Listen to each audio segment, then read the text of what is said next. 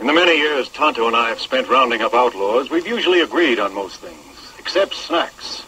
You see, I'm a potato chip man, and Tonto is into corn. Now we have new sun chips. Corn chips stacked in a canister. They're thin and light, like potato chips. Turns out he really likes the taste of corn. And the empties come in handy for storing my silver bullets. Sun Chips, the new brand of thin, light corn chips from Frito-Lay. Hi-yo, sun chips, away!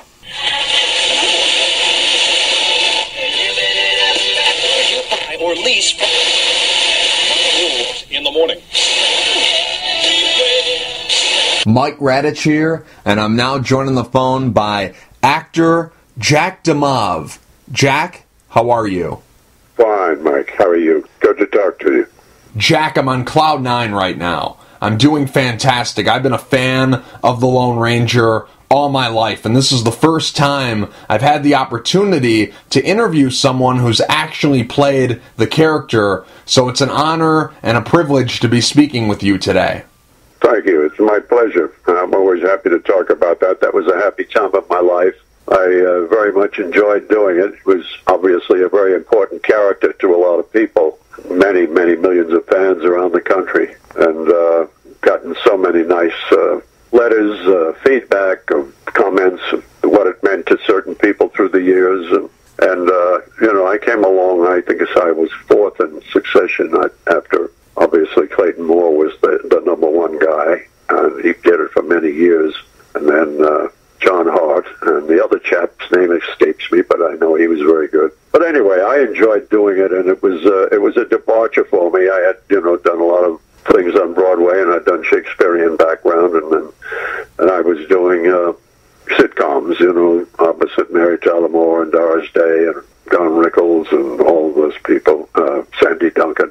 And uh, so the, the Lone Ranger was a completely different about face, and it was something I had to take seriously, and obviously had to really be well schooled in because the fans are so knowledgeable. They uh, they know all about his background and the folklore behind it. So I really had to do my homework and know all about him because these little children would come up and really hit me with questions from left and right, and I had to be on my toes and come up with the right answers. And it was it was fun. It was gratifying. It was interesting and exciting. It was always great to see the looks on their faces when they uh, are asked me questions about my horse or or Tonto, how and I how Tonto and I got together. Anything about the uh, naturally they were all interested in the guns. They wanted to see the guns. And, so it was it was fun. It was great fun, and I enjoyed it.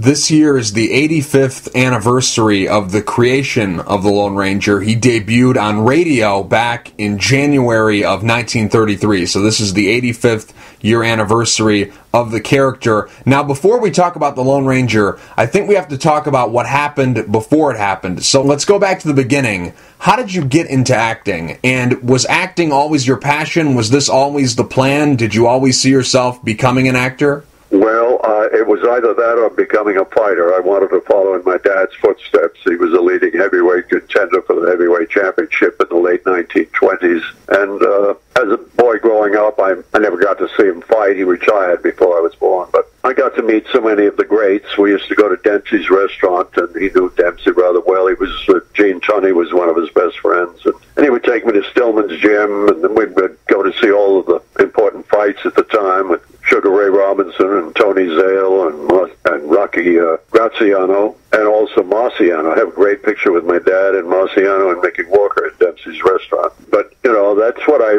wanted. I thought until, uh, but I, I was exposed to both worlds. My mom was a casting director on Broadway, and so I went to see all of the plays on Broadway. And uh, I really got hooked when I saw Paul Muni in Inherit the Wind.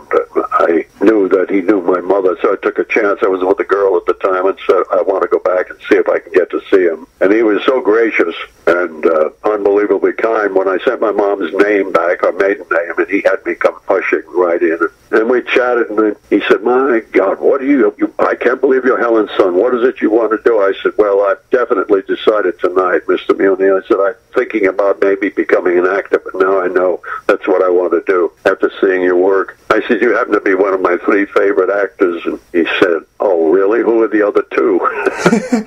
I said, "At that time, I said, you know, Laurence Olivier and Marlon Brando." And he slapped his forehead and he said, "My God, you put me in good company." And I don't know how I came up with it, but I was proud of what I said. I said, "Well, Mr. Muni, I think I'm putting them in good company."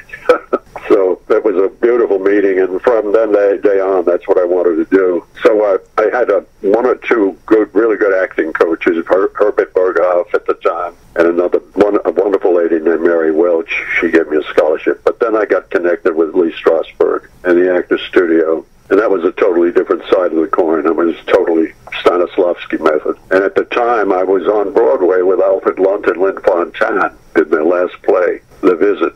So that was a, as I said, the opposite spectrum. You know, uh, they they were so stylized in their acting, and you had to do everything the same each evening, and uh, not deviate on uh, where you stood, or don't get out of the light. Or Lynn Fontanne would give us notes practically every night. But when you with Strasberg, everything is totally different, and it's just completely relaxed, and working with sense memory exercises and what have you, evoking um, feelings from the past. You know, part of the method, as you probably know, is if you want to evoke a certain emotion, if it's grief or what have you, you think back in your own life what would relate to that, and that brings up the, the proper response. And it just was interesting to me, but I uh, I wasn't total advocate of the method style, so I, I kind of picked and chose uh, whatever I thought worked for me, and uh, I think it, it worked out fairly well. I enjoyed uh, working with both of them. It was it was kind of an you know very very um, oh I don't know it was kind of awe inspiring when I first walked on stage with Lynn Fontanne. She was the living legend of the theater. They had the Lynn Fontanne Theater in Broadway, you know, and she uh, looked in her fifties when she was doing that. She was actually seventy two years old, and I was playing the reporter. I started as the reporter, and then I took over the role of Pedro Cabral, who was supposed to be the young lover, the Lothario, and to do it all with an accent and had two balcony scenes alone with her, which was really kind of daunting, but got through it beautifully. And uh, that was a great experience. And then I did uh, the Leeton Picnic opposite Inger Stevens, who was a gorgeous girl, and we loved working with each other. And uh, I think the best review I've ever gotten in my life. And uh, so I did a lot of plays, did Richard II, and I did uh, Lady in the Dark, and I did Applause, several other, oh yeah, uh, the uh, Mame. I played Beauregard in Mame. Anyway, a lot of theater, and I did live television, Kraft Theater, and what have you. My first Kraft Theater, my first live television production was with Everett Sloane and Christopher Plummer, and that was that was a good good beginning on TV. But then I finally decided to go out to Hollywood. I got started, and I think that's when I did The Fugitive and Marcus Welby. I did three Marcus Welbys. Love working with Robert Young and that group. Jim Brolin became a friend. A lot of good shows like that, and leading up to uh, to getting the Lassie series, where I starred as Ranger Bob Erickson for three years, and uh, enjoyed that experience. And that was working for Jack Wrather, who was the producer of Lassie, and Bonita Granville. And then uh, when came time to do the uh, Lone Ranger, he wanted me. He designated me as the Lone Ranger. He thought I would fit the image that he had, and uh, worked with a fellow named Nick Ramus, who was very good as Tonto. And uh, so we uh, we had a good time doing. Uh, I believe we did eight Frito Lay commercials. I can't recall exactly. I don't have all of them. I have several of them, and they were fun. They were well done, well written by a fellow named Stan Schulman, who was a very clever writer with a good sense of humor. And they wanted to. I had quite a few personal appearances. Uh, riding in the parades, both in Hollywood and uh, the Santa Claus Lane Parade, and uh, uh, in New York City, mean, down Broadway in front of uh, Macy's, and uh, rearing up the horse and yelling "Hi, Silver" for all the thousands of kids out there, and they all got a big kick out of it. Did personal appearances at the various stores like Macy's for I don't know thousands of kids, and that was that was great fun. And then also the same type of thing in Hollywood. I did the parade there and the uh, Pasadena. Uh, so that was it was great fun doing the Lone Ranger. I enjoyed playing that character, and you have to really become enveloped in it because you have to know your your, your business when these little children come and ask you these questions that could throw you if you're not well schooled on it. So I had to do my homework, but I enjoyed all of it. It was just a good part of my life, and I have good memories of it. Were you a fan of the Lone Ranger prior to getting the role? I was for a while. Yeah, I liked Clayton Moore. He was the only one I watched uh, when I was when I was a young guy. I think he thought it in black and white before they went to color, and uh, I thought you know they they carried it off beautifully. I think Jay Silverheels was a great Tonto. He was perfect for the role. As a fellow had a good speaking voice, and he was, he was a good actor. But uh, yeah, I was. Uh, I liked all sorts of acting. You know, I was I was a total uh, devotee of the art of acting. I liked uh, people like like Paul Muni and like Marlon Brando, uh, people who were more realistic, you know. But you know, as as I said, being the Lone Ranger for that period of time was an outstanding part of the career because it was something totally different and kind of awe-inspiring because they love to see that immediate reaction with with the children, and not just the children, but older people. I used to get fan mail from a lot of older people too, who would have the same sort of reaction, telling me, as you did, that you were such a big fan of Lone Ranger all your life. But so many people felt that way, and it was a good, wholesome image. Uh, and I think what we really need today, even more so, uh, that type of image. Uh, I don't know how well it would work right now. I, I think it probably should, but uh, you know, times have changed the business has changed so radically, and it's a totally different style. And uh, they they try to you know pander to uh, the children now, the younger people. They like uh, certain films with a lot of shoot 'em ups and blood explosions and what have you. But anyway, it was a good it was a good time in history. Hopefully, they'll do something else again, another good Lone Ranger series or movie. But I think it would be uh, I think it would be well received.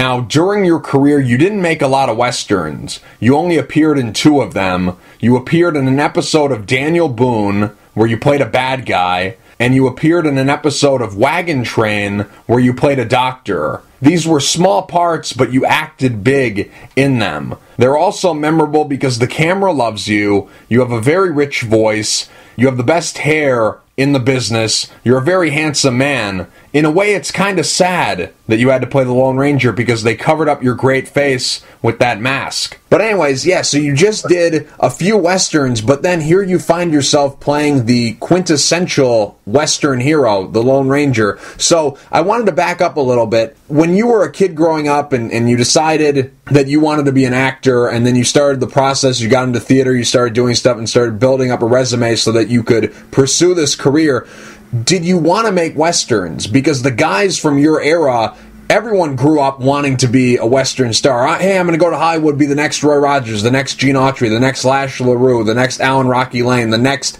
big star. Did you ever want to do that? Did you want to be a western star, or were you just wanting to be an actor because you wanted to act?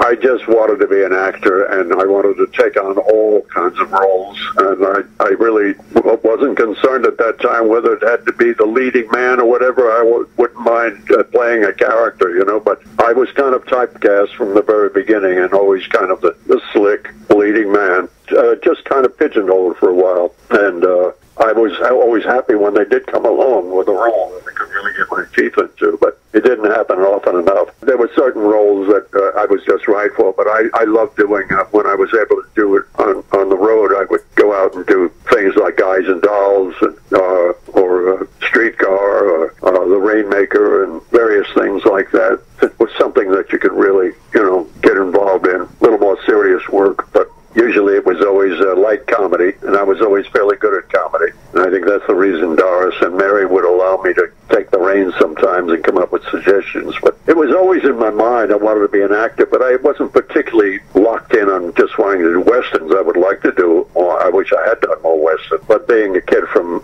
Jersey and then New York City, I moved to New York City when I was about 20, um, and uh, I didn't have any chance to be, you know, become adept at horseback riding or anything like that.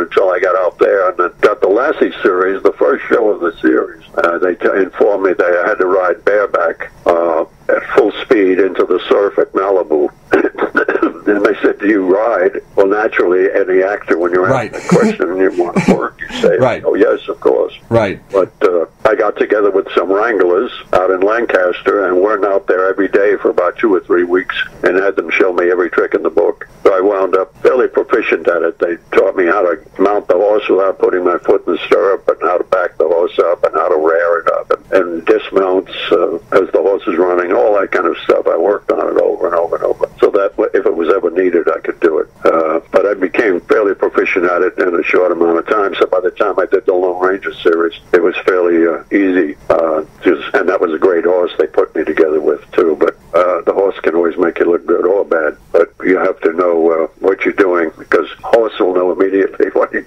when you mount him whether or not you're you know you're in charge. Otherwise, they'll take over. So it was it was a totally different experience from me from doing the drawing comedy type things where you're always you know it's a very sophisticated character. But to go to something like the Lone Ranger was was was a challenge and, and fun. I enjoyed it. At the time when they cast you as the Lone Ranger, was this a big deal? Did it mean a lot to you to be the Lone Ranger, or was this just another job, just another part for you? I hate to say it wasn't a big deal. I mean, I wasn't as excited as I, I realized the importance of it after I got into it and how Sure. much respect everyone had for the Lone Ranger. It was just happy that they just thought I was just what they wanted for these commercials. Actually, they were all kind of done tongue in cheek, and uh, and they needed the voice, and they need someone who could deliver those lines with, as though you're being serious, but they're actually very funny. It was funny dialogue because of Stan Schulman and the things he wrote. But yeah, I was I was more and more appreciative of the fact that I was the Lone Ranger image, particularly after meeting the fans in personal appearances and seeing the looks on their faces and the adulation. And uh, then I realized how damned important it was. And uh, we had strict instructions that could never be seen out in public without the mask and the, with the outfit when you're actually playing the Lone Ranger. So going in and out of the hotels, going on to personal appearances and what have you, I had to have full regalia and uh, have the mask and uh, the, the complete outfit and be ready to act as the Lone Ranger and ask as, answer questions as the Lone Ranger. So it was it was a kind of a daunting challenge, but it was fun. I enjoyed it, and I got into the swing of it. But initially, t- when they told me, I was probably thinking, "Oh, it's another acting job," you know. But I, I'm glad it worked out.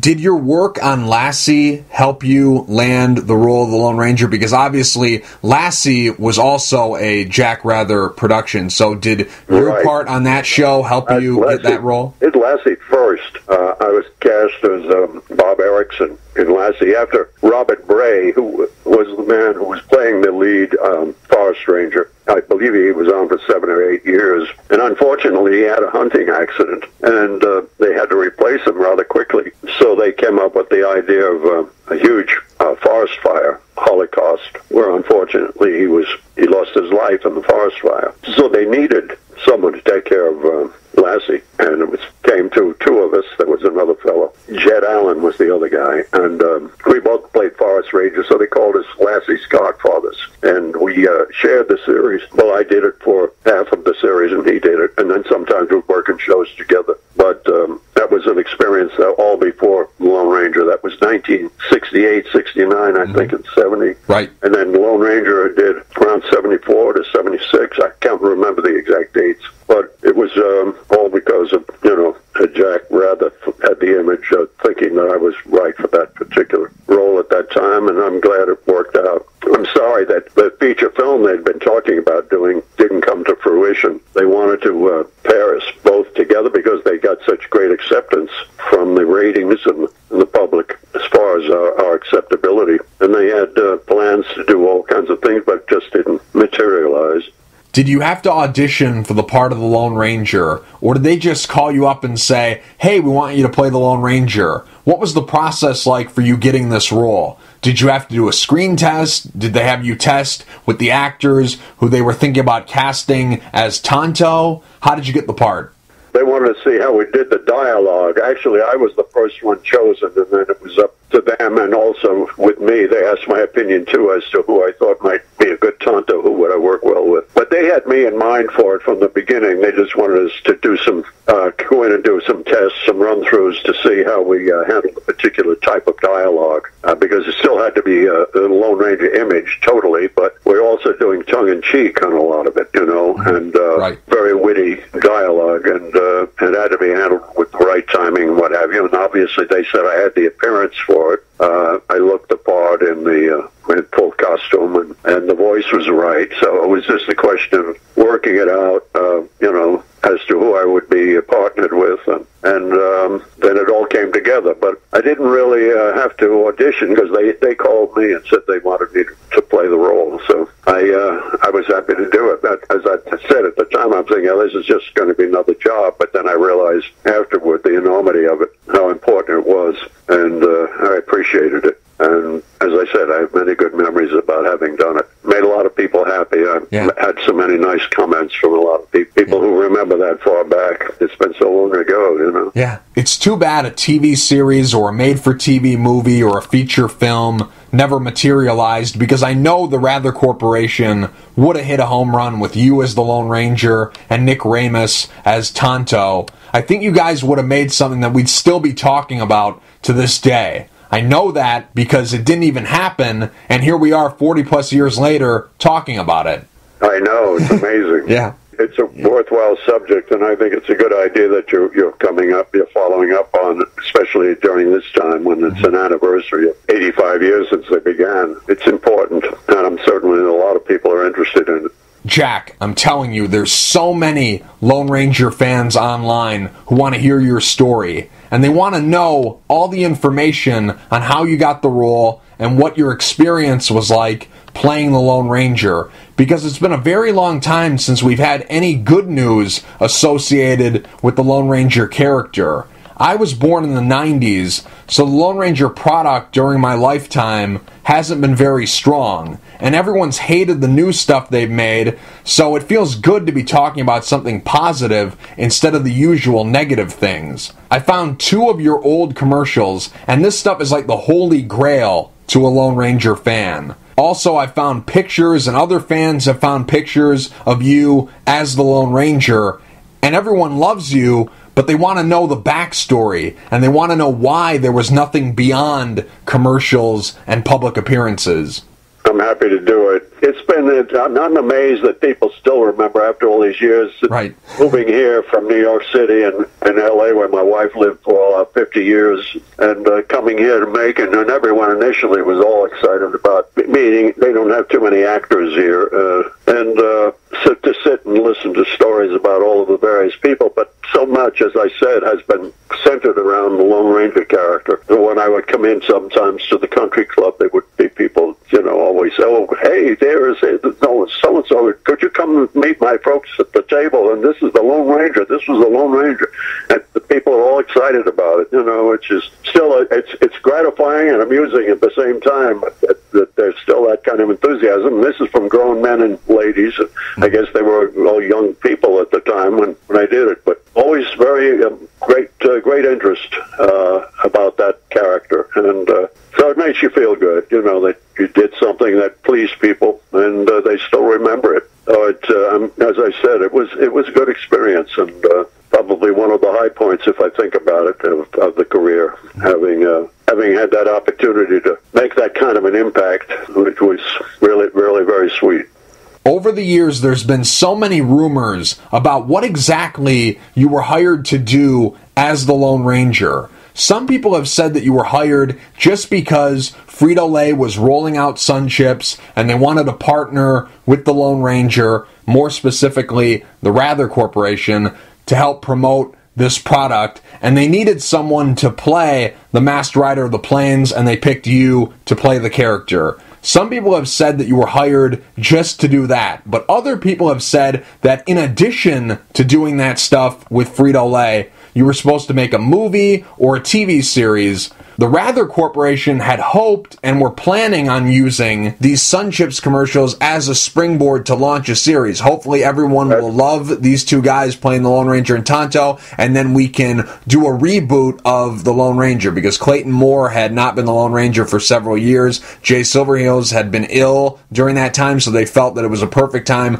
to recast those two roles, and they picked you and Nick to play the Lone Ranger and Tonto. So, what exactly were you hired to do? This was is a the, that was the thought process behind it. That was, uh, you know, the intent was to revitalize the Lone Ranger image, and uh, this was a good jumping off point. Uh, and Jack, as I said, it had to go according to Jack Wrather, and he was, uh, was behind it all, and he was the only one who could call the shots as to who would be the Lone Ranger. So this was some a good testing ground uh, to uh, to see the reaction of the people in the audience and the millions of people watching, and and their their plan was they already had a script in mind they were working on, and they were working out. I forget what happened with the deal with the network. Uh, it was some some important other producer that was going to collaborate with Jack, and I don't remember the details now. I probably have it all written down some clippings of things somewhere, but uh, it just never came to fruition for one reason or another. That um, even though that uh, their, our acceptance rating was very high, and according to the public, they they thought we were a perfect uh, Lone Ranger and Tonto. So the rest of it was all, uh, uh, however it is, you know, the politics of the film business. Uh, whatever happened uh, uh, with the deal, I don't know. It was either going to be a TV movie or a feature film. guys. Unfortunately, that I would have liked that, and uh, probably would have gone on for some time with that. But it was just, you know, that's part of show business. You never know what to expect. That was the original intent. That wanted to groom, uh, have someone else be, uh, you know, introduced as the new Lone Ranger and Tonto, and that's that's what the deal was. This was a good springboard, and and as I said, the acceptance was great, and so it was when we did the parades and what have you. And I did personal appearances alone, and for Mattel Toys and for Macy's and for you know various things as the Lone Ranger. But I had to be, it had to be me. No one else at that time could be designated Lone Ranger. Uh, that was in the you know the uh, strict rules of, of Jack Wrather and the organization. He was the only one that could say who the Lone Ranger was. In other words, someone couldn't come along and say, "Oh, I'm going to do a commercial and dress somebody up as the Lone Ranger." They couldn't do it. It wouldn't have been legal. So I, at that time, was the and and Nick were the designated people. Uh, I wish it had gone further. It would have been nice, but it didn't. Uh, we have what we have, and uh, that was fun. So I have no regrets about it. How tall are you, and how much did you weigh during the time you played the Lone Ranger? Uh, six two and a half. I you know, joke about it. I, I think I did a line on the Mary Tyler Moore show once where Ted Knight said, "How tall are you?" I think I said, "I'm six two and a half. I'll be six three in December." Right. That's why I asked. That's why I asked. so you are six two. You are six two, and the reason on top of the Mary Tyler Moore show, that's what I was referring to. But on top of that, the reason I asked is because I've seen tons of pictures of you as the Lone Ranger. I've seen several of the commercials you did as the Lone Ranger, and the reason I asked about height and weight is because you're a dead ringer for Clayton Moore. You look so much like him when you wear the Lone Ranger outfit. Now, you don't really look like him if you guys are just walking around the street. You don't really No. resemble him at all. He has dark hair, you have you have brown hair. Yeah, you you actually look more like I don't even know if you're familiar with this actor, but Warren Hull. He played the Green Hornet in a serial and he also played the Spider in two Columbia serials. You look more like him than you do Clayton Moore, but as the Lone Ranger, you're a dead ringer for him. You look 100% like him. It's crazy. Now, on top of that, I'd like to ask you, was the outfit, the costume that you wore as the Lone Ranger, was that custom made for you or was that his definite. wardrobe? Yeah, they spent a lot of money on the costumes. They made three of them, and they were very expensive. Wonderful woman, a seamstress, who put it all together, and and they did uh, spend a lot of money on the saddle alone. The saddle, I think, was worth about twenty thousand dollars or something. It was everything was silver, real silver, and the, the guns were very expensive. And it, they spared no expense. The uh, the clothes had to be fit perfectly. It was custom fitted on me, you know, just to, to my measurements.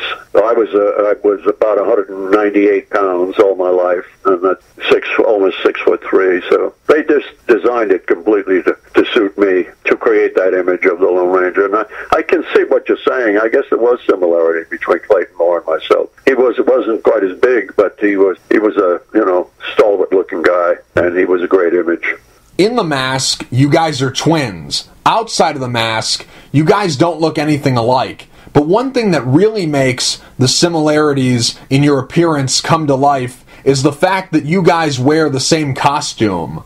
The costume Clayton Moore wore during the color years of the Lone Ranger TV series is the exact same costume you wore during your time as the Lone Ranger. The hat, the shirt, the pants, the bandana, the boots, that great gun belt. That gun belt you guys used is the best gun belt ever. Best gun belt in the history of Hollywood is that Lone Ranger gun belt that you and Clayton Moore wore when you guys played the Lone Ranger. The costumes are identical. Now the mask is the same style, but Clayton's eye holes were a little bit larger than yours. The eye holes on your mask look kind of tight, so how well could you see when you wore the mask? Some of the actors who played the Lone Ranger have said that they have trouble seeing when they wore the mask, especially when they had to look down.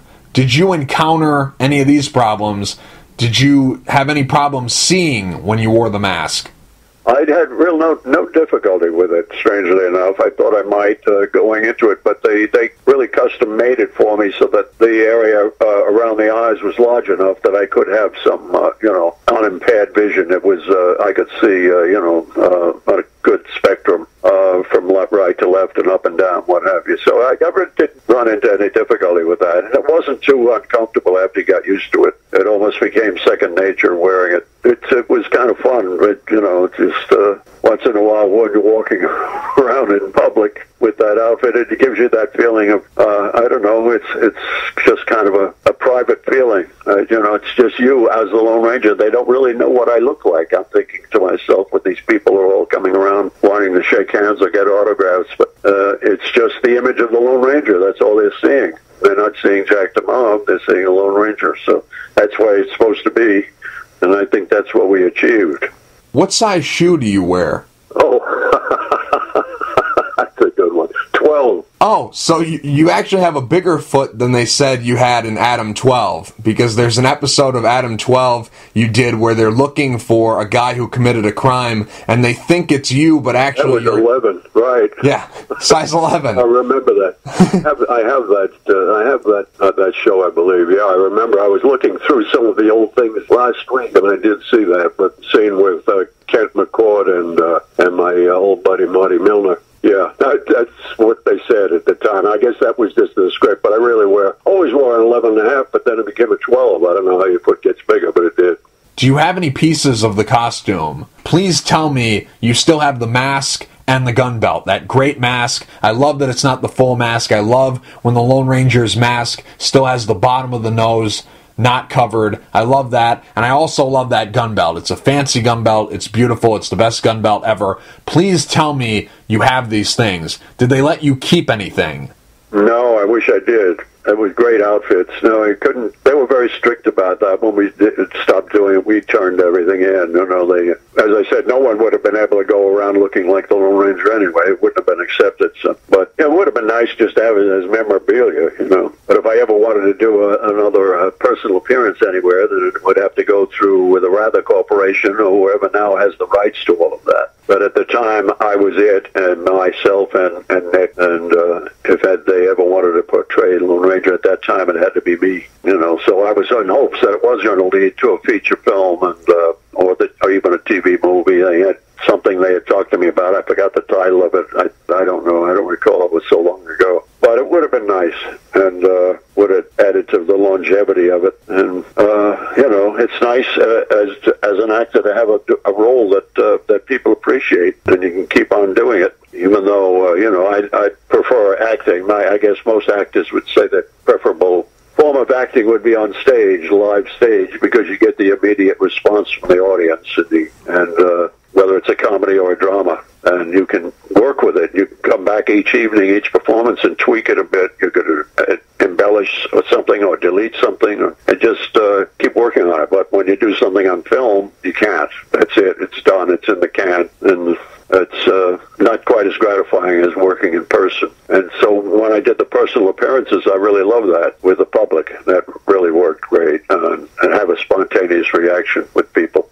The, I had to say that doing those commercials, they were so cleverly done and well written that uh, they were easy to do to, for me anyway. And I did, as I said, I had a certain flair for timing as far as comedy, so I, I think that stood me in good stead. When you were making these Lone Ranger commercials for Frito Lay, how much riding did you do? How much fighting did you do? And also, the Lone Ranger obviously doesn't shoot to kill, but he does use a gun. So, how much shooting did you do? Uh, riding, yes, with the riding in and out of town and uh, uh, cutting the corner. I remember a very, very sharp turn as we were running full speed into the western town. And the horse, if I've got a shot of it, it's a great shot. Looks like the horse is on one hoof, turning the corner. Um, but uh, it was, uh, yeah, it was a lot of action like that. But we didn't have any shooting in any of the uh, commercials. How about in your public appearances? Because when Clayton Moore did his public appearances, he was always doing some gun twirling and stuff like that. Did you ever do anything like that? I could do that. Yeah, I, was pretty good with the gun. I had a fast draw. I used to. Well, when I was a kid, I I uh, kind of emulated some of the you know the top stars at the time, and I would find myself. I guess I was around 12, 13 years old, standing in front of the TV, outdrawing these people in the westerns. I had a set of guns, and I, I practiced that a lot, and then practiced the twirling and what have you. Uh, you know, it looks good. It's uh, anybody who really handles a gun doesn't fool too much with that, but it's uh, it's flashy, and the kids like to see it. You know. Just like Clayton Moore, you worked with two of the most iconic animals of all time. You worked with Lassie on Lassie, and you worked with Silver when you played the Lone Ranger. How was it riding Silver? How was it working with that oh, horse? great. He made me look good. Beautiful horse. And uh, coupled with the fact, as I said, I had crammed and gotten all of those lessons from these guys who were great, these three wranglers. They put me through the hoops and had me doing everything, jumping over things and what have you, and really looking proficient. Uh, but naturally, afterwards, I kept on doing it on my own, just to keep make certain that I really was becoming a good rider. But initially, I had to really cram and get it done within a few weeks before I had the first uh, experience riding. But working with uh, a horse like Silver, they make you look good. They're really well trained and uh, beautiful animal. So that was that was no difficulty at all. Did you work with just one horse? Was it the same horse the entire time you played the Lone Ranger, or were there multiple horses used to play Silver during your two-year run as the Masked Man? Uh, I only recall using uh, having the one horse. Um, yeah, had it gone on longer, you know, naturally that probably, but had we done a feature or what have you, it could have been uh, involving maybe another horse. But as it was with the Lassie series, there were always two or three uh, standing by. There was one for the acting scenes and one for the fight scenes, and another one standing by in case anything happened. But you know, my uh, recollections, I only had the one horse.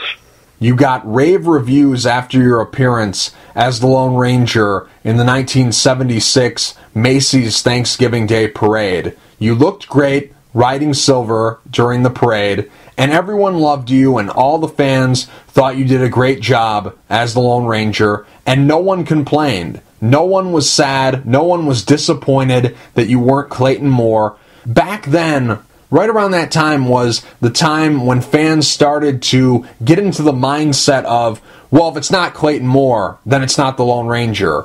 Only Clayton Moore is the Lone Ranger, but some way, somehow, you were able to avoid that. And you got great reviews for playing the Lone Ranger in that parade and making an appearance on that day. So I'm just curious, what was that experience like? Was very gratifying because obviously it evoked the kind of feeling that they had for the Lone Ranger. They they looked upon me then as not just some guy who's dressed up in an outfit riding a white horse, but they looked upon me as the Lone Ranger resurrected, uh, and they couldn't believe it. You know, I'm riding up Broadway and yelling "Hi ho, Silver" and rearing the horse up, waving at the kids. It it, uh, it was a good experience, and the multitudes were, you know, the the the the roar of the crowd was kind of deafening. And, and, then, and then you realize on top of that afterwards that it was also seen by millions of television viewers at the same time. So it was it was very rewarding, and I uh, I thoroughly enjoyed that part of it. You just really had to do your job and be the Lone Ranger. You know, you had to fulfill the image, and I think we did that pretty well. During your two-year run as the Lone Ranger, how many public appearances did you make? Nine or ten or whatever. I can't recall. I remember the one time in particular when they had me standing in the toy department at Macy's, and the children were lined up outside in the street waiting to get in, and, and uh, that took hours. That must have been about a four-hour ordeal. I had to stop and talk to each one of the children and let them have see a bullet or give them a silver bullet or tell them all the answers that you know about how what happened with the Lone Ranger and Butch Cavendish and, and how uh, Tonto found me and nursed me back to health because I was the only Ranger that survived out of all of the troop. Ergo, the the title, the Lone Ranger, and uh, Tonto became his uh, long life uh, companion, Kemosabe, and uh, it was you know, the folklore was interesting, and I, I as I said, I studied all about it because they were very serious about uh, making certain I do, knew the answers because that would blow the whole image if children would ask me something and I'd come up with the wrong answer. It was it was kind of a heavy experience, but uh, I got through it well, and, and I think made a, quite a few fans along the way. So I enjoyed it very much. It's a great image, and I think it could still go on, and they could still do something wonderful with it. And I would like to see that. Just curious, when you were out doing public appearances, did anyone ever mistake you for Clayton Moore? Did anyone ever think you were Clayton Moore and tell you stuff or ask you questions about the TV series that he did? Yeah, from time to time, periodically. A lot of people, naturally, the older people who were knowledgeable enough, realized that the discrepancy in age that, you know, Clayton Moore was around a good deal earlier than, than when I began. Uh, uh, so you know they would be cognizant of the fact that it was a younger guy. But some of the kids, that all it all just blows together. All I know is you're the Lone Ranger, and you're the one that's been there all along. You know, so that they didn't uh, differentiate as, as to whether or not I was Clayton Moore or whatever. They just. Uh, uh, uh, it just I was just the Lone Ranger. I was the image. That seemed to be all that was important. The Frito Lay commercials, where did you film those?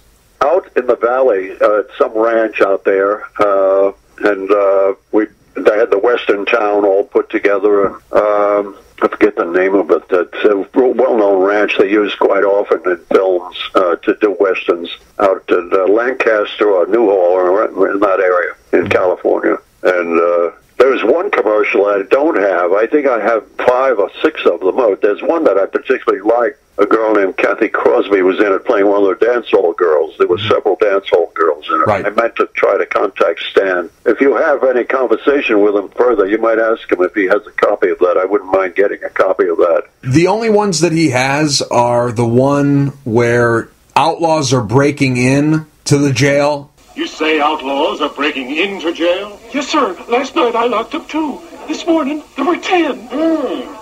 Maybe it's the Sun Chips brand corn chips. No wonder. Sun chips are just too tempting, Deputy.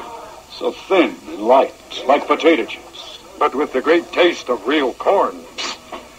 Don't know what you're in for, masked man, but you sure gonna love this jail. Sun Chips brand thin light corn chips from Frito Lay. to get Sun Chips. Right. And then he also has one where you and Tonto are riding in a stagecoach and you guys are protecting a supply of Sun Chips. Hmm, it isn't often Kemosabe we get to ride in the comfort of the stagecoach. Stay low, Tonto. The Butch Cavendish gang must not be allowed to intercept this shipment of new Sun Chips brand thin light corn chips. Today, hmm, they're in for a big surprise. Okay, driver. Just you toss down those canisters of Sun Chips and you won't get hurt. Oh boy, Butch, delicious. Thin and light as potato chips. But with a great taste of corn. Now, Tonto. Sorry, Cavendish. Men like you must not be allowed to deprive people of the taste of Sun Chips. Driver, see that these outlaws are brought to justice. That I will, masked man. But is there justice strong enough for them that would steal sun chips? Sun Chips brand thin light corn chips. New from Frito Lay. Hi-yo, Sun Chips! Away! And then he Oh yeah, also David Huddleston was in Yeah. that too. and then he also has one where you're just talking to the camera and you're talking about how the empty can for the Sun Chips can also be used to hold your silver bullets. Yeah, Yeah. they come in handy for Yeah. storing my silver bullets. I dropped the bullet into the can, which Yeah. made that titty sound, which is very funny. I thought that was a great commercial. Can you do that again? Can you do that again? In many years, Tonto and I have spent rounding up outlaws. Uh, we've always agreed on most things.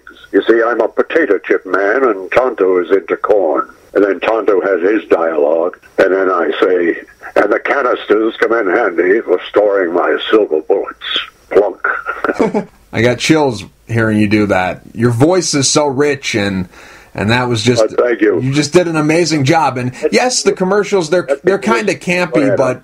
Yeah, yes, the commercials they're kind of campy, but your appearance as the Lone Ranger and your voice and the way you guys work together, you guys made a great combination of the Lone Ranger and Tonto. The way you guys did those commercials was great. You guys were laughing with the character and not at it. The Lone Ranger movie from 2013 with Johnny Depp and Armie Hammer was horrible, and it was horrible for tons of different reasons. But one of the main reasons why it was so bad is because it made fun of the character.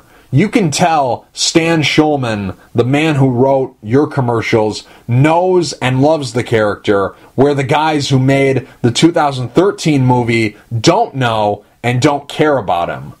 It's just disappointing that you and Nick never got to make a movie or a TV series because I would have loved to have seen you guys have a chance to do a long, serious performance because I think you guys were great together. Now, had you gotten a chance to play the Lone Ranger in a feature film or made for TV movie or in a TV series, what would have your take on the character been? Would you have tried to do it like Clayton Moore did it? Would you have tried to do something that hadn't been done before? What would have been your approach? My own style, but I would have been true to the tradition of the Lone Ranger and what I felt that the character should bring to the screen. Uh, I think that uh, he's such an important image, and he has to be someone that the young kids can adulate. Uh, you know, uh, I think uh, someone that has to be respected. And so I, I would do it with a certain authority, but also in, in a natural, hopefully form of acting, not not trying to do the tongue-in-cheek comedy kind of thing we did with Frito Lay, but really, really believe the character and, and say the lines accordingly as the Lone Ranger. Uh, but I think I would do it my own style. I wouldn't copy Clayton Moore. I've, I've never copied anyone, so I, I wouldn't have done that. But that I think that would have been a great opportunity and a great experience. I would have loved to have been able to develop that character further because there was so many limitless uh, possibilities, and I think it could really been something special. And I'm sorry too. I, I regret it that it didn't go further, but unfortunately, it was out of my control. But it would have been a very, very nice uh, legacy, I think, uh, for many people and for myself too. Whether it was coming from the Wrather Corporation or Frito Lay, what was the direction you got from the people in charge? How did they want you to play the Lone Ranger?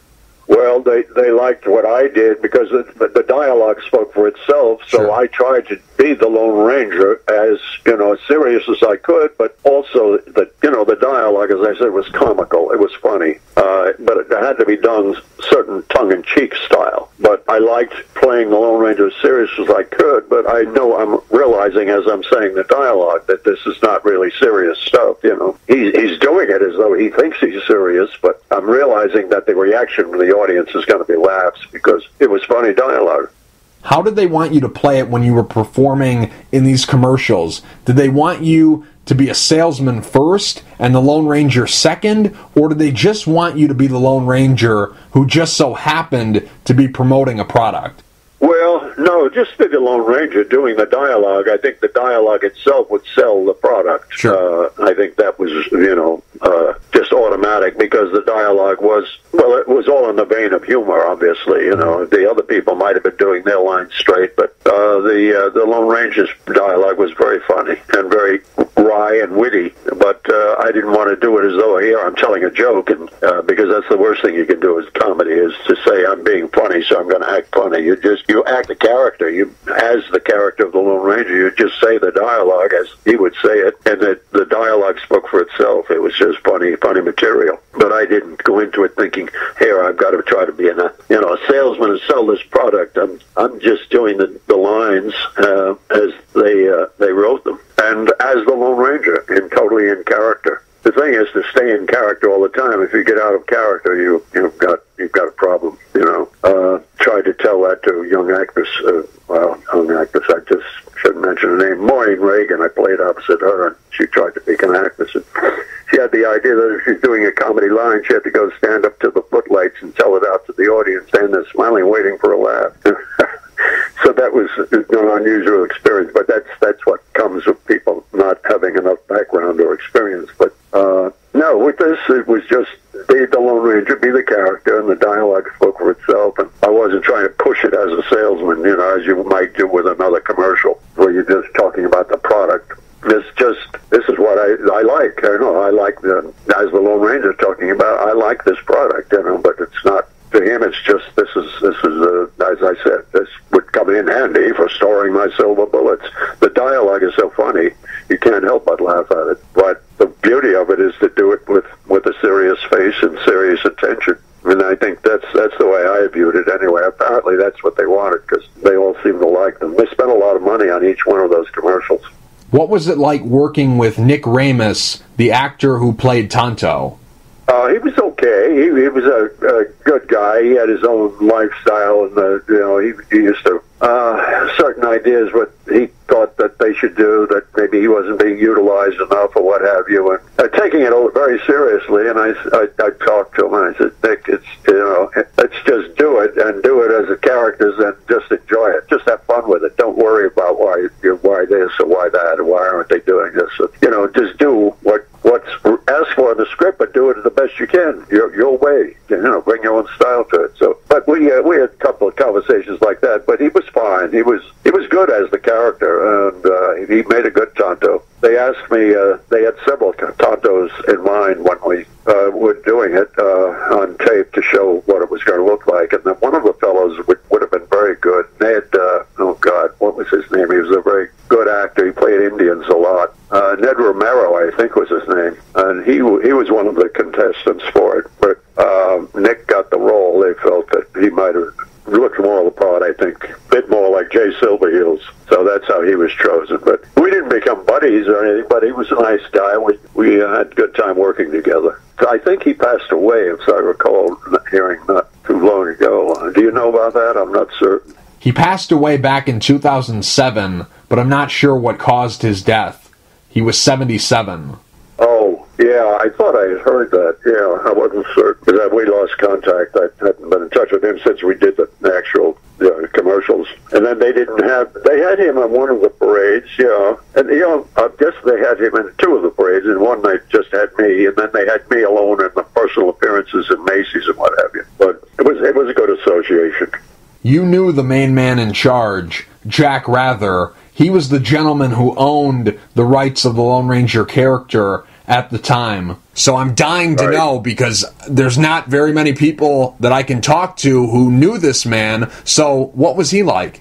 Very likable man, very very kind, uh, very uh, enthusiastic. Uh, always always had a good, uh, uh, very positive comment to make about anything I did or anything with the production. If there was anything troubling him, he would uh, probably tell the, the director. But uh, always very quietly, very much a quiet gentleman, laid back. She was actually more of a motivating character. She was she would get involved, especially with the, the weekly shooting of the various things. Uh, she would have an idea as to what she wanted, very set ideas, and I think he listened to her a lot too. But he was a very likable man. I liked him a lot. Very very nice gentleman. They had my wife and I go to when we first when I first met him, I got the Lassie series, and we all had to go to his home in Beverly Hills. And I had pictures with Lassie and Rudd Weatherwax and, and and Jack Wrather and so forth. I don't. I wish I had some of those. I I think I have one with my wife and and Lassie, but I uh, I don't know if I still have any with Jack or Bonita. But very very nice man. I liked him a lot, and uh,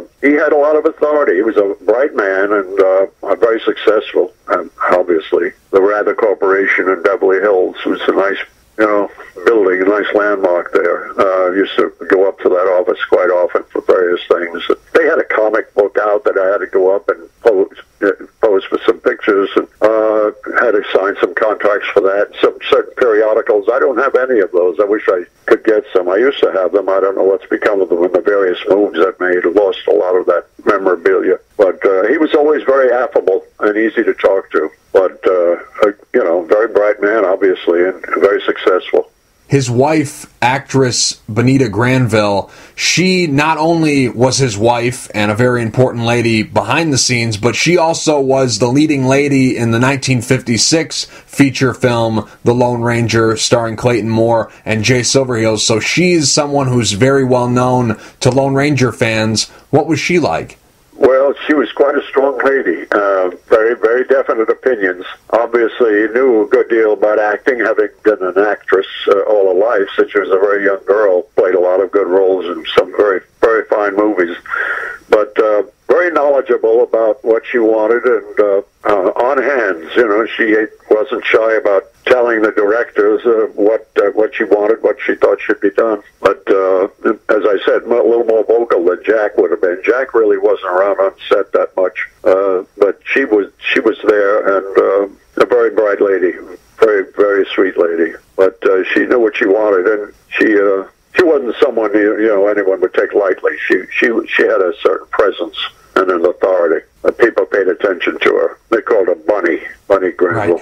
Right. A very nice lady. I, I remember her fondly. Both she and Jack were very nice people. I like them both. Do you remember a gentleman by the name of Stanley Stunnell?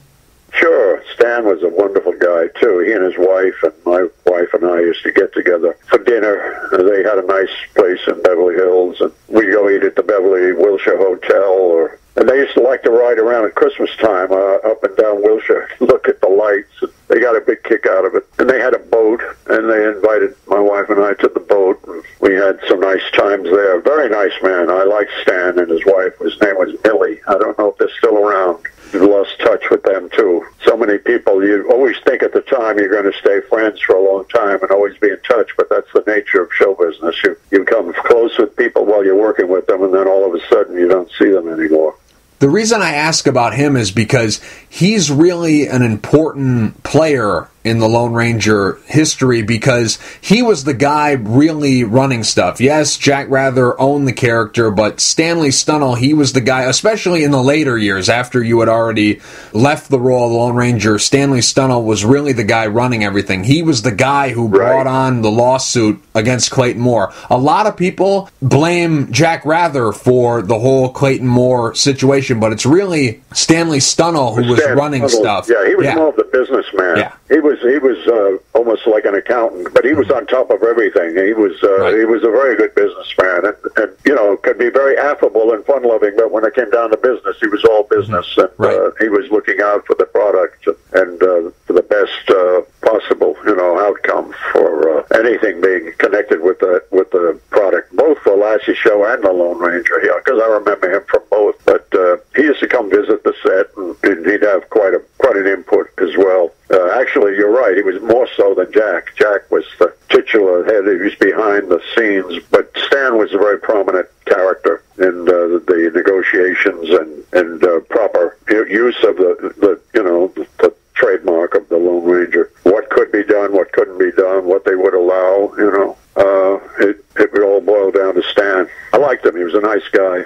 The reason I ask is because he was such such an important guy to the character, and I didn't even know that name. I had never heard that name until I read David Rothel's book, and David Rothel's the man who told me about you because he was a guy who gave a great review on you playing the Lone Ranger, and I had never heard of Stanley Stunnell before. I had always assumed that Jack Wrather was the guy in charge because he's the guy who gets blamed for all that. But then I heard about Stanley Stunnell, so I have to know about this guy. So what was he like? Was was he a younger guy? Was he around your age at the time? Was he older than you at the time? Tell me about him. A little older than me. He was younger than Jack. Sure. And younger than Bonnie, but uh, he was. Uh, I would say he was probably in his early fifties. I, to my knowledge, around that time. Uh, I would think in early to mid fifties.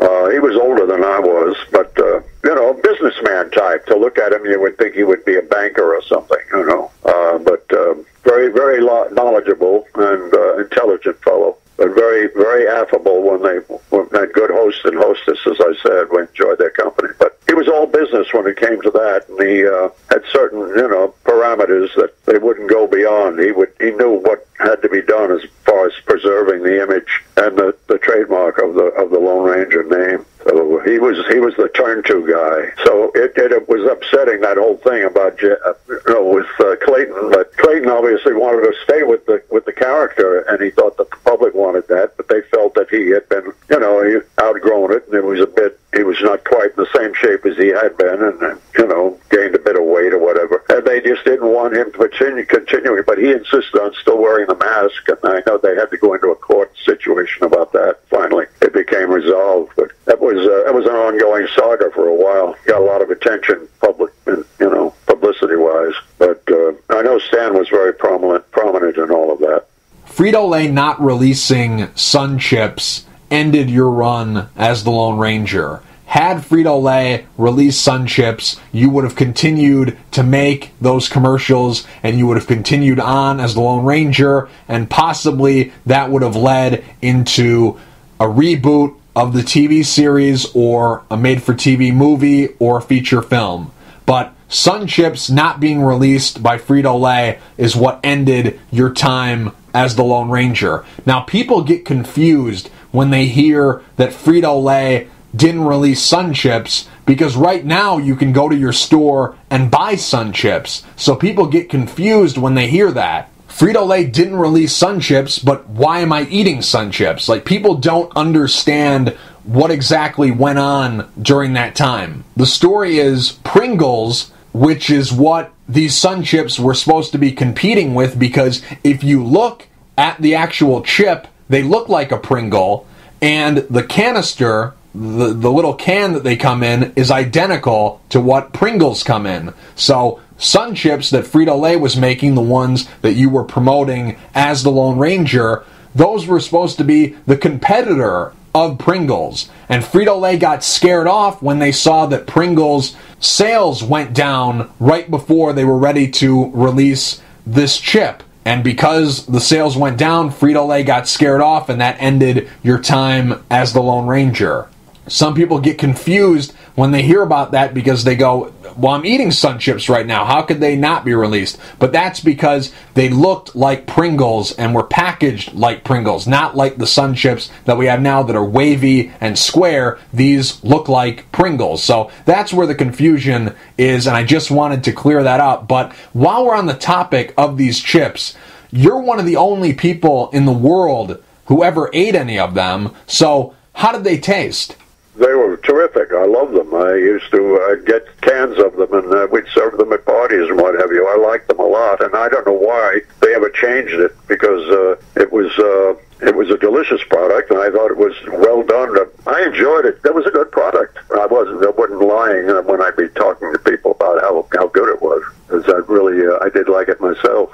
Do you have any memories of being on set? Do you have any good stories you can share with us?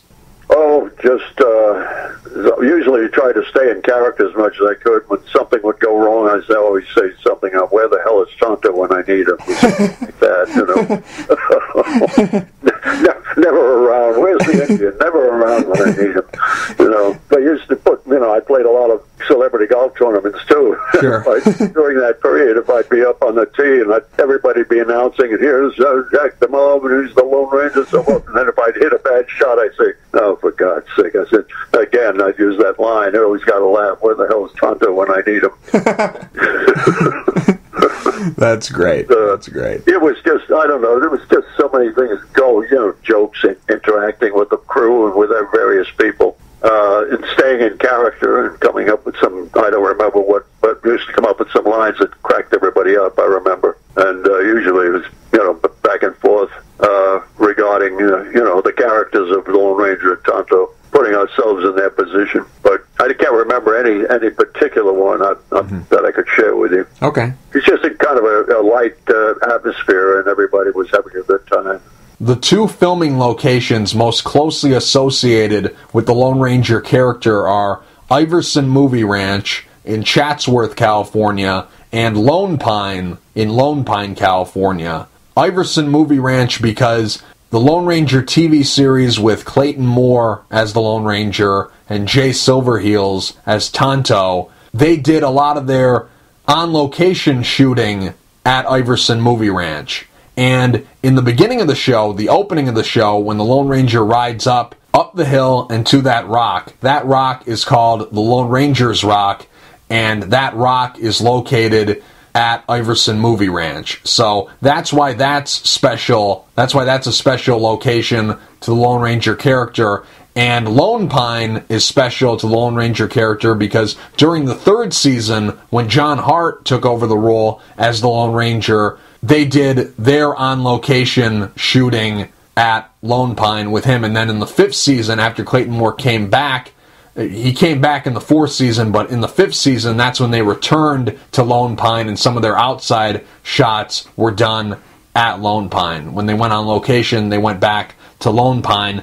And Lone Pine is also special because in the 1938 serial, the first time the ambush and how the Lone Ranger became the Lone Ranger, the ambush scene was filmed at Lone Pine in the Alabama Hills, and that was actually the first time that that storyline had been created. That was not a part of the Lone Ranger origin prior to that movie serial. So there's a lot of history within those two locations, both because of movie serials and the TV series. So Lone Pine and Iversons are very special to the Lone Ranger character. Now, whether it was with you as the Lone Ranger or just in another production that you were doing, whether it was a movie or a TV show, did you ever do any filming at either Lone Pine or Iverson's?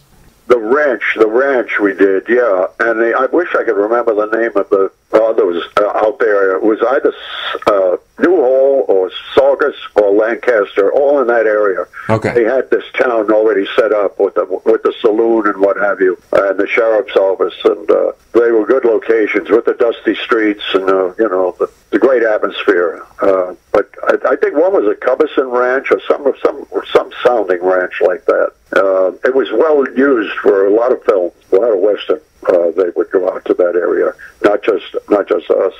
Now, the big question, because everyone is dying to know the answer to this question because it's been so many years we've heard all the rumors about why this series didn't happen, why you never made a movie, why you didn't do more beyond public appearances and the commercials that you did. So, why didn't it happen? Well, again, I think it was all the you know the devious machinations, everything that was going on behind the scenes about whether or not to keep that product the way it was or change it. That that threw a monkey wrench into things, and then then the uh, the popularity of the characters, regardless, they they loved uh, us as the Lone Ranger Tonto, so that's what was the intention from there to go on further with it because we were accepted so uh, widely by the public to do a a feature film, and uh, and then they talked about a, a TV movie, and uh, they gave me the title for one of them, but they just never came to fruition because whatever was going on behind the the, the scene, I, I wasn't privy to all of the you know the dealings as to what was happening with the script, and I think it was in conjunction with another top producer, and I can't remember who that was. I know it's written down in some. If I look through books or paperwork, I've got it somewhere. But they uh, they were going to go into. Uh, uh, an alliance uh, to do the film together, but uh, that didn't happen. Well, I don't know. They might have not come to agreement on on uh, you know what the uh, outcome of the deal would be. But I, I just don't recall all the, the details of that. I was outside of that, just waiting for the call to say yay or no. We're going to go with the film. We're going to do this. And I would have been ready to go and start and uh, be the Lone Ranger for as long as they liked. But it, it just didn't happen, unfortunately, because I was getting used to it and I was having a good time with it. But that was all in, out of my hands, unfortunately. Uh, I, so I can't really tell you much more about that. Was there a script? And if so, did you read it and do you remember anything from it? I saw a synopsis of uh, one. Yeah, uh, it, uh, it was searching for something, and I, I think it was searching for gold somewhere. Uh, and I don't have that. I don't have that uh, to to even refer to. Oh that was, man! At the time, I it was kind of didn't pay that much attention to it. I figured it was going to happen Sure. fine. I just probably tossed the, Right. the pages aside. But uh, it would have been it would have been something in, to that effect. And uh, but I, I can't go into detail about that because I don't really recall it. I'm sorry I couldn't help you more on that. But That's okay. I, um, yeah, I would have enjoyed doing it. As I said, it would would have been a nice nice uh, addition to my career. And uh, uh, you know, apart from the other things that I did, the serious things and the comedies and all of that, that would have been another nice nice section or part of my career. So, but you go with what you've got, you know, and then it just have to uh, just have to be satisfied that I did have uh, some some uh, you know relationship with the Lone Ranger character, and I enjoyed it very much. And again, if you don't know, it's okay to say that you don't know, but this TV movie or movie or TV series, whatever you want to call it, this was just a Lone Ranger adventure. This wasn't an origin story on how you became the Lone Ranger. No, no, it wasn't. Uh, it, could have been. It should have been. Actually, that would have been a good idea. Hadn't they ever done that uh, bef- prior to that? uh, About how what happened with the Butch Cavendish gang? I thought they might have. I don't know. I didn't see all of the Lone Ranger things prior to that, but. I thought that was kind of the folklore when they used to talk about it in the comic strip or the magazine articles I saw. They would talk about that, uh, about how you know Tonto was the one that found him, and he was the lone survivor. Consequently, became named, known as the Lone Ranger, and he was the one that nursed him back to health. And uh, you know, he just, uh, we- we're talking about funny stories. Obviously, you've heard it. Everyone has told that joke over and over. But it was one of the jokes on the set at the time, you know, when supposedly uh, Tonto and Lone Ranger were surrounded by hundreds of Indians, bloodthirsty Indians, you know, and they all, I think you know the joke I'm Right. talking about. They, yeah, he said, uh, well, Tonto, I think, uh, you know, we're going to have a problem here with all of these Indians. And Tonto says, what do you mean, we, white man? Yeah. That- that's a great joke. Yep. I, I've heard that many times, but I wanted to hear it from you. I wanted to hear it from the Lone Ranger, and I wanted to hear your voice tell it. Well, that always get killed me. I like that. Yeah. Everybody always got a kick out of it. Now it's so well known, you know. I, I may have just changed the dialogue a bit, but that was the Sure. essence of it. It Right. was a funny, funny line. In 1981, they put out a movie called The Legend of the Lone Ranger. And even though it was shortly after your run as the Lone Ranger, they decided to cast a different actor. Clinton Spilsbury played the Lone Ranger in the 1981 film The Legend of the Lone Ranger. Did you ever see that movie? I did not. No, no, I, I never did see the film, so I don't know too much about it. I can't offer an opinion on it. Okay. The reason I ask is because, okay, so here you are, you're playing the Lone Ranger, there's talks of a possible movie, but then they shut it down because Frito Lay goes in a different direction, and for whatever reason, the movie and all the stuff that they thought was going to happen when they cast you as the Lone Ranger, that doesn't happen. Then a few short years later, they come back, and here we are seeing at the Mann's Chinese Theater, they're rolling out Clinton Spilsbury and Michael Horse as the Lone Ranger and Tonto, and he's, I don't think it's the same horse, but the uh, tack that you used on your horse Silver, he's using on his horse Silver. Like, it was kind of a weird situation. So, do you remember back at that time, like, obviously Clayton Moore was was heartbroken that he wasn't playing the Lone Ranger in that movie and he was going through a lawsuit. Were you bothered by the fact that you weren't cast as Lone Ranger in that movie? No, as a matter of fact, not at all. That doesn't even evoke that kind of a memory uh, that you speak of. Uh, no, uh, I was busy with other things at the time and happy with the way things were going. At that time, I may have been back in New York doing something in Broadway or some somewhere else in theater. Uh, I don't know, but uh, I don't recall. Uh, You know, I remember there was a good deal of publicity, I suppose, about that at the time, but I really wasn't involved in it. Didn't really have any feeling about it one way or the other. I had let that go on by since uh, you know it never came to. It never happened when I was you know in the throes of it during my time, uh, right after doing the commercial. So I just uh, moved on and to other things, and uh, I really didn't have very strong feeling about it. I, I can imagine Clayton Moore would have felt very strongly about it because that was his role, and uh, he was the first uh, important Lone Ranger, actually. So I can understand he would have been totally upset or involved in the whole process, but didn't. It didn't affect me that way. In 2013, another Lone Ranger movie was made, this time starring Armie Hammer as the Lone Ranger and Johnny Depp as Tonto. Did you see that movie? And if so, what were your thoughts? Well, I hate to say it, but I, I saw a portion of it and had to turn it go off. I just, uh, I, I thought it was ludicrous farce. I, I know Johnny Depp is a hell of an actor, and he's he's capable so much more than that. So my his thought process really eluded me. I don't understand what he was thinking of wanting to play the role and to do it in such a uh, fantastic characterization. Characterization. I mean, it, it just didn't make sense to me, and I, I just think it did disservice to the, the memory, memory and the legend of the Lone Ranger. I, I really didn't care for it, so I, I didn't really uh, watch more than maybe half an hour of it. Had you played the Lone Ranger in a movie or on TV, what do you think your life would look like right now? Would it be a little bit different, drastically different, exactly the same? What do you think your life would look like had you gotten the chance to play the Lone Ranger in a movie or on TV? Yeah, no, it would have been different because of different. You know, I would have been typecast, obviously, and, and as it is the case in many uh, many situations like that, when people uh, get into a, a character that is that popular and that prominent, the um, the character stays with you for years after. And so it would be difficult probably to get out of that box and go out and branch out and do the things you want to do. If you're an actor, you want to try all sorts of acting. And I, I loved uh, theater work, and I love working in front of a live audience. I love doing Shakespeare, and uh, I did four musicals. I love that too. I don't know if all that would have fallen into place had I been doing uh, the Lone Ranger image all that time.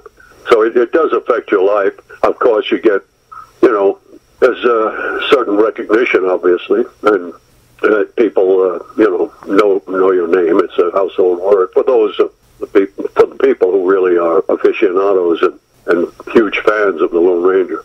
It's very important.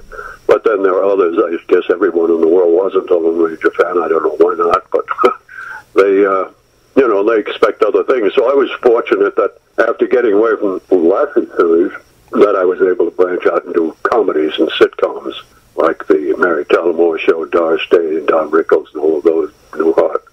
Uh, it was fun doing those characters, and I, I, then on the other side of the coin, I love doing the drama too. But uh, I think it, you know, it probably would have altered my my image. I know, for example, I would suggest uh, Adam West when he did Batman.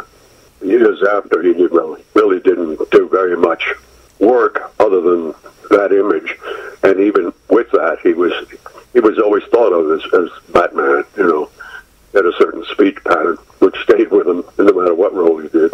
But um, I think with a with a situation like Batman or Lone Ranger, any character like that, it becomes synonymous with the actor. So I don't know that I would have been. You know, uh, if I were able to break away from that mold and do the things I wanted to do, I would have been very happy because I would have already had the fame from doing that. But it's it's a you know double edged sword. You don't mm. know what what would happen.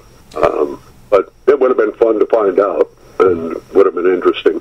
There's been several actors who have played the Lone Ranger in a movie or on TV after Clayton Moore. Now, John Hart played the Lone Ranger. He replaced Clayton Moore for one season, the third season, 1952 and 1953, and then in 1954, Clayton Moore took back the role and then had it for the duration of the TV series. But he does count in this story. So, John Hart, Clinton Spilsbury, Chad Michael Murray, Armie Hammer, none of those guys have been accepted by the public. All those guys have had to hear that they're not Clayton Moore and we don't want you because you're not Clayton Moore. The only guy who never has heard that and has played the Lone Ranger is you. Why do you think that is? Why do you think you were the only one accepted by the fans? All these other guys, Armie Hammer was terrible. Chad Michael Murray, I liked a lot, but the public doesn't like him. Clinton Spilsbury, I don't have a problem with him. I think he did a pretty good job. A lot of people don't like him because of the stuff they've heard about him and because his voice was dubbed as the Lone Ranger. A lot of people don't like that. I don't have a problem with that because I've seen enough spaghetti westerns over the course of my life. So it doesn't really bother me because basically all those movies, everyone is dubbed. Even the guys who are speaking English in those movies are dubbed. So I don't have a problem with him. And I don't really even have a problem with John Hart. Had Clayton Moore never played the Lone Ranger, I think people would have accepted John Hart as the Lone Ranger. Now, I don't think that character or that show would have lasted as long as it did and as long as it has. I don't think it, it, would be remembered like it was. I think it would just be remembered as a good show for that time, not a show that is still relevant to this day. I don't think John Hart as the Lone Ranger would have made that kind of impact, but I think if he if Clayton Moore never played that role, I think that he would have been more accepted. But why do you think all those guys haven't been able to get any love, but you were the guy who got the love, and you're the guy who the people accept, and you're the guy who no one complains about. Why were you accepted as the Lone Ranger when everyone else who's not Clayton Moore isn't? Because obviously, I would think uh, due to the response from the public, we were what they expected when they perceived the image of the Lone Ranger in Tonto. I think physically we fit the mold. I certainly had the size and the height and the carriage, I think, of the Lone Ranger. I rode the horse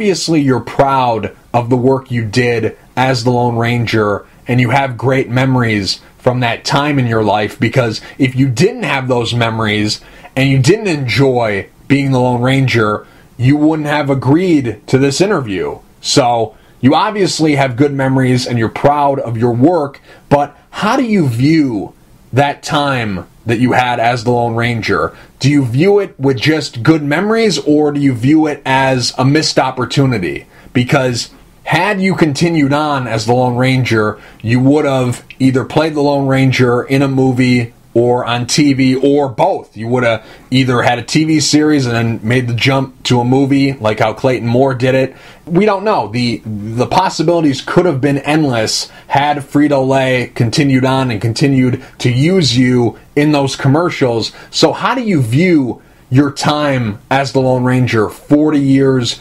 removed from the situation? Do you view it just with good memories or do you view it with some regrets and also as a as a missed opportunity? How do you view your time as the Lone Ranger?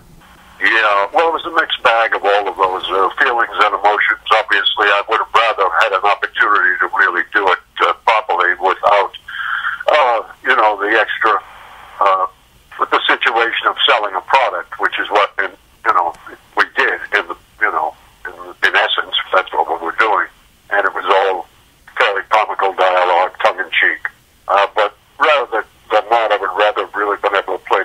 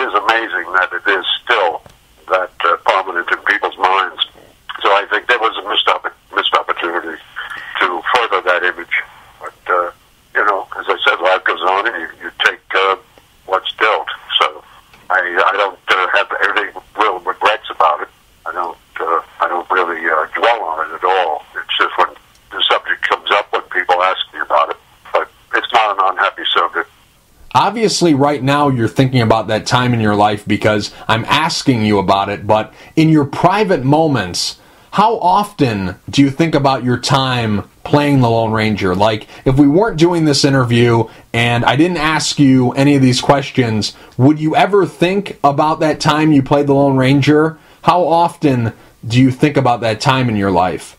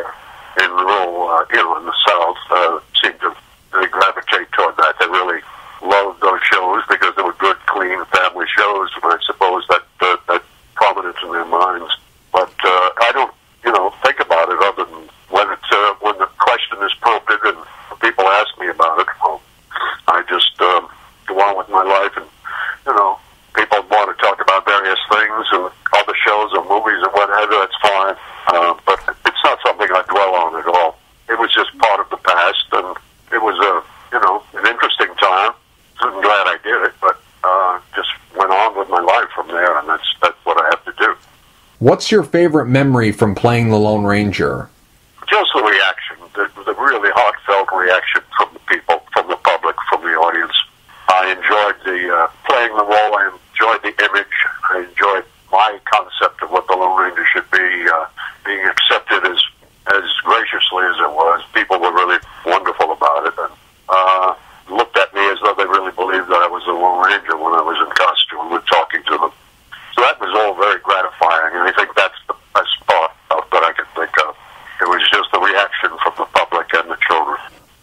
Jack, before I let you go, the fans want to hear from you. The Lone Ranger fans want to hear from someone who's played the character. It's not every day we get to hear from someone who's played the Lone Ranger. So, do you have a message for the fans?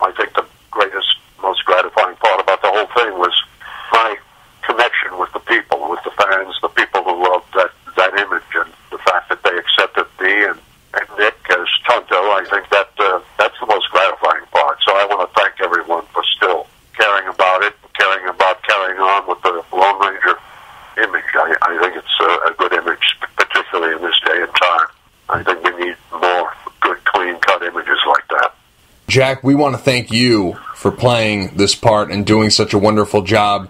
Thank you for your contributions to the character, and also thank you for taking the time to talk. I really appreciate it.